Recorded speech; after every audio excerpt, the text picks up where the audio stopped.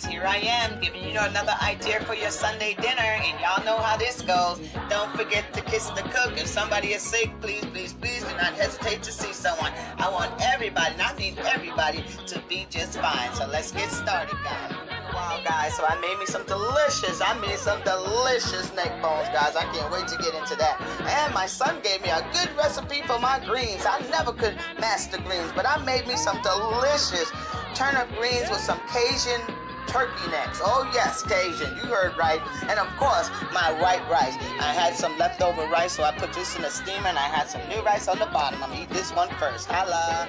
Delicious, I mean delicious pork neck bones. I love me some neck bone. And of course, my delicious turnip and some crazy Cajun turkey necks. Yes, yes, yes. And of course, my white in the white rice. Holla press like, share, subscribe. You know, I don't give a mother, father, sister, brother.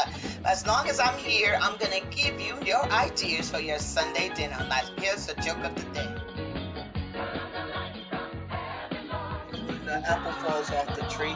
I don't know what happens when apples fall off the tree. You get applesauce. Duh. If you like this joke, you send me on your own. I'll be making my shit up. Holla. But anyway, don't be hating. And if somebody cook me something nice, please, please, please don't hesitate to give them a big old mwah, smackaroo. Thank you for that good, delicious food. Until next time, guys. And don't forget to kiss the cook. And see ya.